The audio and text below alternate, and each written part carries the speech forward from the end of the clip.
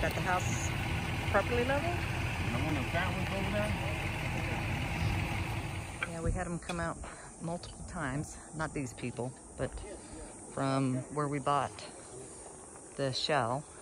And they never got it leveled quite right or properly. So we hired someone that that's what they do. They level houses.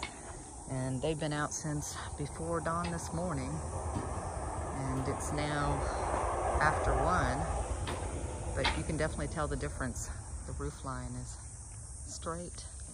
Everything is straight and it's properly blocked out underneath. Very nice. There's pads under each one of the stacks of blocks. Like it should be. What a difference.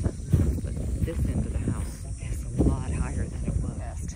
It's leveled, so, oh, we can't open the door. Oh, look, the door opens. And watch, the screen door doesn't push open anymore. Oh, it latches. Now we know the house is level.